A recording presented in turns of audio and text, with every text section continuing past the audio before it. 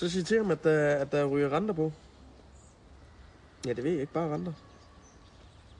Ja. Det er godt så. Ja. Ja, moin. Værkstedet. Arbejde, arbejde, arbejde. Kæft for dit hundeliv. Manuskriptforfatteren Anders Thomas Jensen, der blandt andet står bag Adams æbler og blinkende lygter, har skrevet endnu en komedie. Filmen Til døden og skiller handler om den helt almindelige Jan, der arbejder som bestyrer på Sverigesbåden.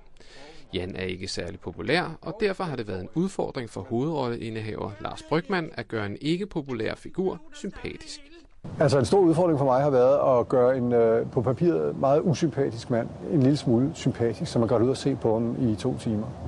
Fordi han er en, øh, en mand, som er svær at omgå, og han er svær at holde ud for mange mennesker, ikke? fordi han er et underskudsmenneske. Så for mig var det en stor udfordring at prøve at, at tilføre ham bare en lille smule sympati. Så Jan bliver stadig oftere banket af sin kone Bente.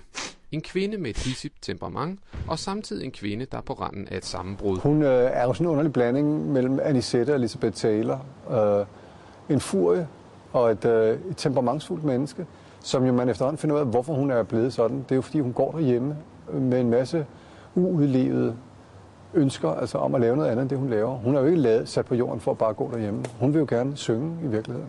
Det kan da godt, det er måske sket en enkelt gang, at Jans chef sender Jan i gruppeterapi, hvor han møder Alf og Rudi. To fyre, der ikke er helt almindelige. med hold din kæft med alt det pis. Ja, ja, men så må du lige læse din hold historie. din ikke? kæft. Ja, læs dine så bøger, ikke? Fra A kæft. til Hold din Z. kæft.